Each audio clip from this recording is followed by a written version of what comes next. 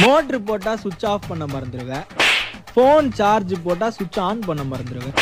காலேஜுக்கு போனால் ID card எடுத்துன்னு போக மறந்துடுவேன் ஆனால் உன்னால் உன்னை கழட்டி விட்டவளை மட்டும் மறக்க முடியல